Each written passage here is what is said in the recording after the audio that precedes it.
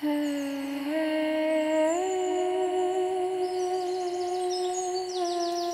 love my country. The Philippines, full of life, full of energy.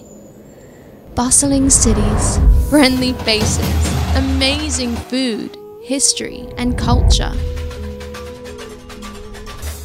But among these wonderful things, the world is enamored by our beautiful oceans. My love for our waters is as deep as our oceans. As a child, I saw the 2004 tsunami rage along the shores of Phuket, dealt with loss, grief, as it took the lives and misplaced many. Natural disasters of this scale only become more likely without our immediate intervention. And so, beyond love, I fear the ocean's wrath, and above all, I respect its power and beauty. But the truth underneath our glistening Filipino waters surfaces at a scary pace. 20% of the 2 million tons of plastic waste our country produces every year ends up in our oceans. We are at the top of the list for the world's risk index in the rising of sea levels. Oil spills spread unnoticed, unannounced, and unpunished. By 2100, our capital will be completely displaced if we do not act now. Globally, the facts are far scarier.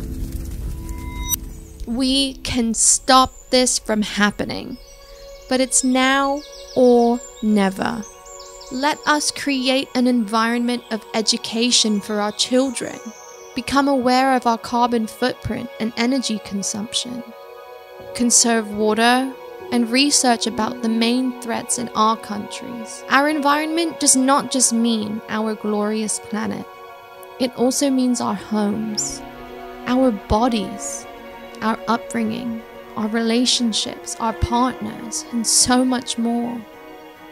As a woman, my environment has been violated personally more than once. But let that be proof that our environments are repairable, rebuildable, and resilient.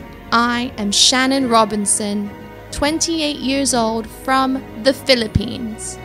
It is now or never for me to carry the crown and advocate for good from a place of true understanding, respect, and purpose. Let's make it now not never.